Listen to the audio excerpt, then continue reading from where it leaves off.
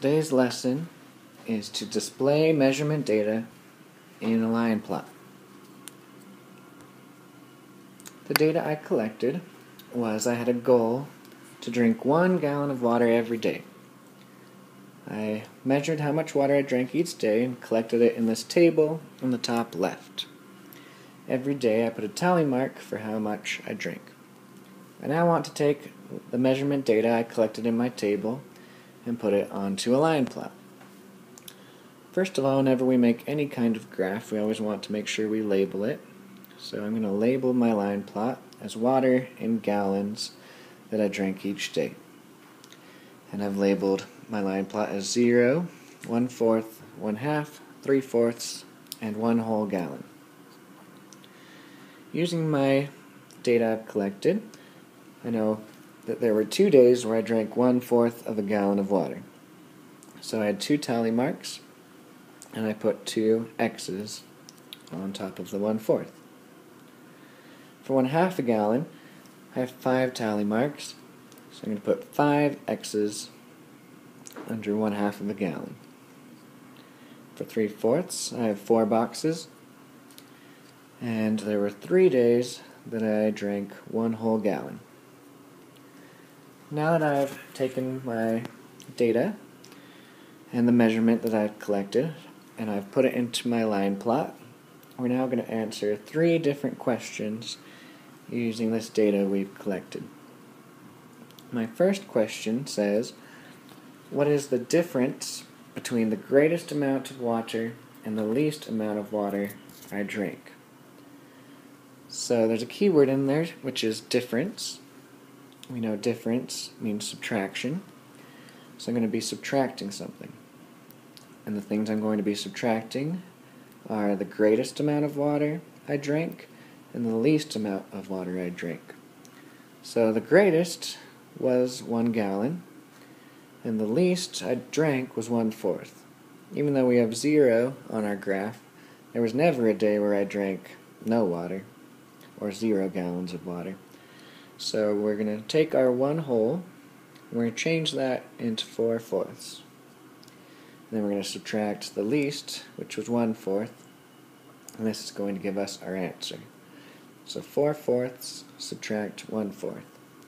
We know from a couple of chapters ago that if our denominators are the same, we can just subtract our numerators. So 4 subtract 1 is 3. We're doing fourths.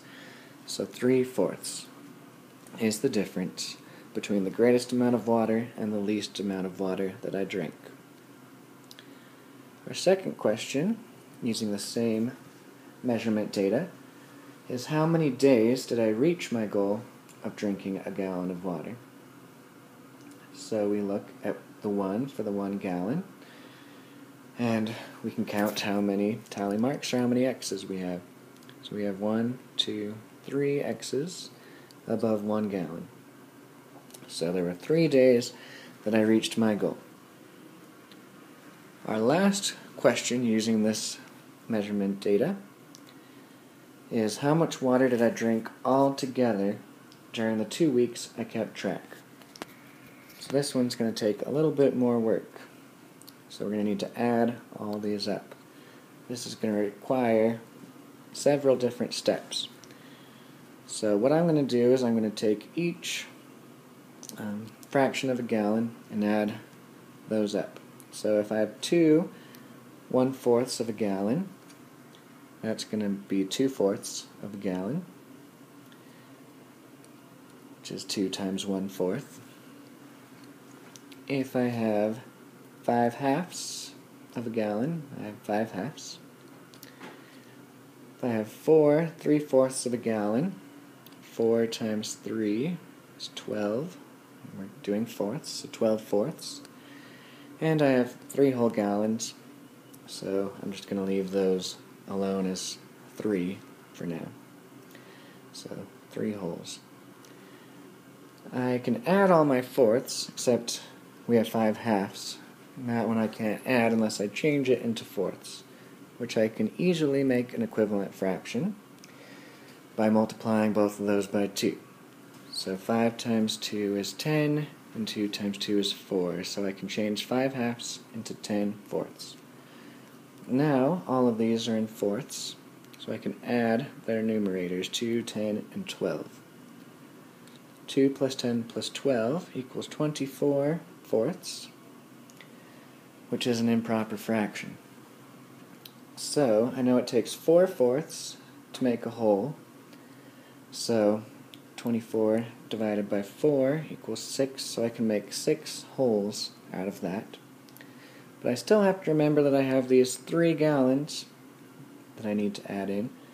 So 6 plus 3 equals 9. And these are 9 what? 9 gallons. So the total amount of water I drank all together was 9 gallons of water. Since this first example has taken so long, we're going to skip right ahead to your three questions. There's just going to be three questions. They're going to be very similar to what I just did. So if you need to start the video over and go back, should be able to help you figure these out. So your first question is what is the difference between the greatest distance walked and the least distance walked? Remember that there weren't any days where they didn't walk at all, so you want to just find the least that they did walk. Number two, how many days did the student walk two thirds of a mile?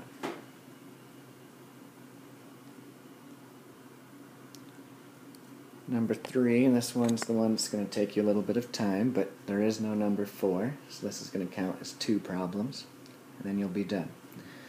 The question is, what is the total distance the student walked? So you're going to have to figure out each of those parts, add them all together, and then write down your answer. Bring these to class tomorrow, and have a wonderful day.